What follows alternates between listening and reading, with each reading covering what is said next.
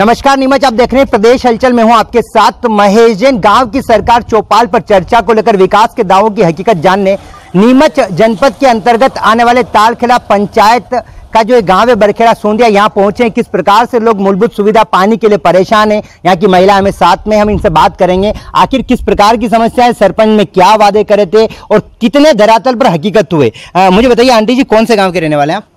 आप कौन से गाँव के रहने वाले? गाँव तो बताओ कौन सा है?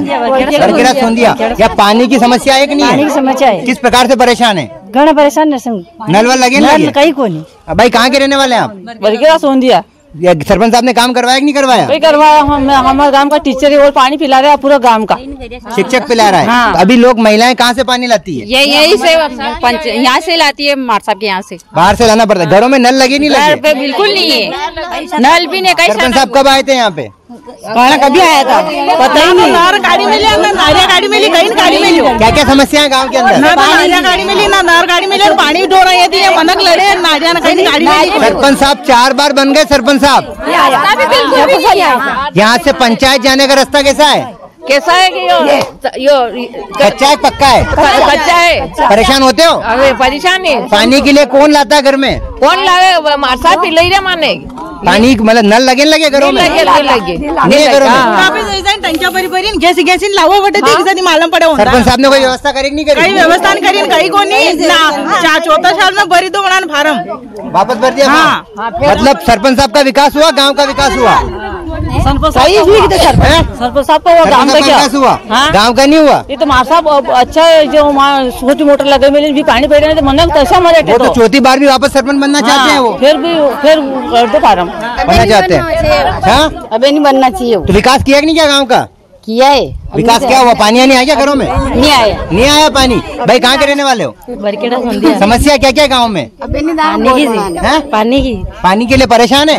एक तरफ़ तो शिवराज सिंह चौहान हर घर में नल की बात करा घरों में नल लगे लगे? नर न काही कोणी कुडा कुडा जाणं पडो काही कोणी सरपंच साहब कब आए थे? वोट लेवा यदि आवी तो कभी आवे यहाँ पर मुक्तिधाम को मुक्तिधाम को लेकर किस प्रकार की समस्या है भाई यहाँ गेला रास्ता भी नहीं है मुक्तिधाम का। मुक्तिधाम तो जाने का रास्ता नहीं है। ही नहीं लोग परेशान वो रास्ता ही नहीं रहे हाँ। तो सरपंच साहब ने हाँ। चुनाव के समय क्या वादे करे थे नहीं करे थे? था सब करा था। वादे पूरे हुए नहीं भाई? नहीं गया काम नहीं हुआ विकास को लेकर? यहाँ के कुछ ग्रामीण भी हमारे साथ में हम हाँ भाई बोलिए। हमारे शमशान में है नी हम्म। पहला मनक मरियो तो को पड़ियो रह हम्म। तो पहला कराड़ी ली ने पहला शमशान क्या करना पड़े थे? दीवार दाग तो करे मनक मतलब विकास नहीं हुआ कुल मिला के? कई कई तो सरपंच साहब तो पंद्रह साल अठारह साल रह गए विकास की मतलब बात करे विकास किसका सरपंच साहब का हुआ गाँव का हुआ? कोई कौन सरपंच साहब ने काई की था सरपंच साहब कुछ नहीं किया काम आप यहाँ के लोग भी हैं। भैया मुझे बताइए कहाँ के रहने वाले आप? बरकरा सुनिया पानी को लेकर क्या स्थिति है? कोई स्थिति बहुत बेकार काम वाम हुआ नहीं हुआ गाँव में? नहीं हुआ ना। सरपंच साहब तो वादे कर रहे बड़े बड़े नहीं हुआ कोई काम ही नहीं हुआ। झूठे वादे? झूठे वादे।